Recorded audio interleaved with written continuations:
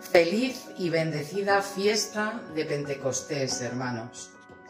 Hoy no solo recordamos lo que ocurrió hace dos mil años, sino que estamos llamados a revivirlo. Vivimos tiempos de incertidumbre, así que más que nunca os animo a que unidos entremos en el cenáculo de la mano de nuestra Madre María y juntos pidamos una nueva efusión del Espíritu Santo, no solo para nuestra diócesis de Mondoñedo Ferrol, sino para el mundo entero.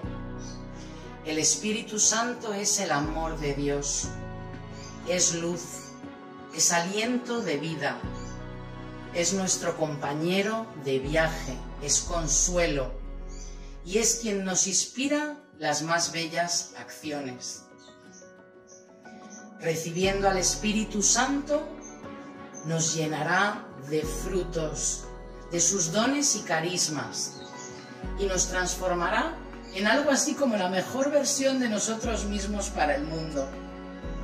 Y así como almas enamoradas, no podremos quedarnos quietos, quedarnos parados, sino que querremos que todos conozcan el amor de Dios.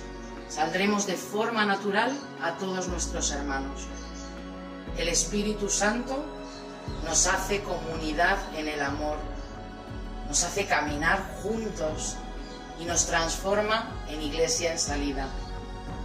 Hermanos, con mucha fe, abrámonos y clamemos, ven Espíritu Santo. Muy feliz día.